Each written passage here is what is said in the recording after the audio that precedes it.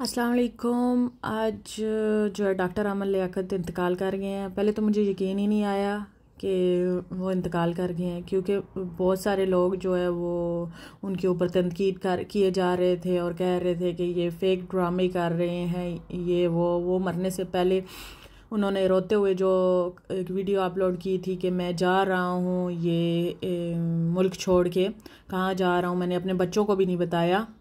तो मुझे लगता है वो दुनिया छोड़ के जाने वाले थे और उन, आज वो चले गए हैं। मुझे पहले तो इस बात पे ज़रा भी यकीन नहीं आ रहा था। फिर मैंने विकीपीडिया ओपन किया, मैंने कहा कहीं ना कहीं कोई तो अपडेट हुई होगी। जब मैंने ओपन किया तो वहाँ पे भी यही लिखा हुआ था कि नाइन जून 2022 को वो जो है फोत हो गए हैं। इन्ना लाला व इन्ना लाए राजून अल्लाह उनको मफ़रत अता फ़रमाए, जन्नत और फरदोस में जगह दे। आमीन सुम आमीन। हम सबने एक दिन इस दुनिया से चले जाना है। दुआ करें।